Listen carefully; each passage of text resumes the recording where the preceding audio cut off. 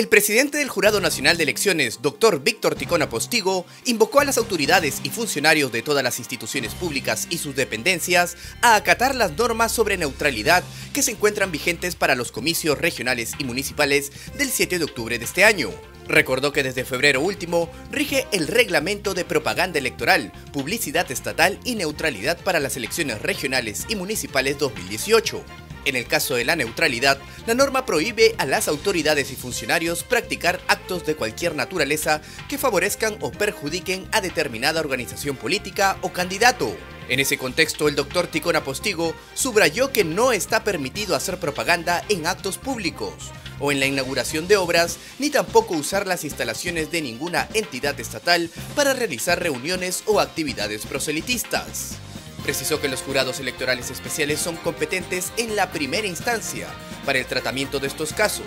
A la fecha, estos órganos han registrado 56 incidencias sobre neutralidad, de acuerdo con un reciente reporte de la Dirección Nacional de Fiscalización y Procesos Electorales del Jurado Nacional de Elecciones.